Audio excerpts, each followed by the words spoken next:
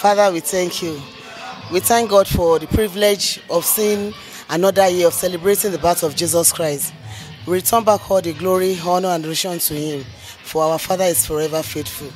I want to seize this opportunity to appreciate all wonderful people of Osun State for the privilege that is given to us. His grace, the light of the Lord will shine through Osun State in the name of Jesus.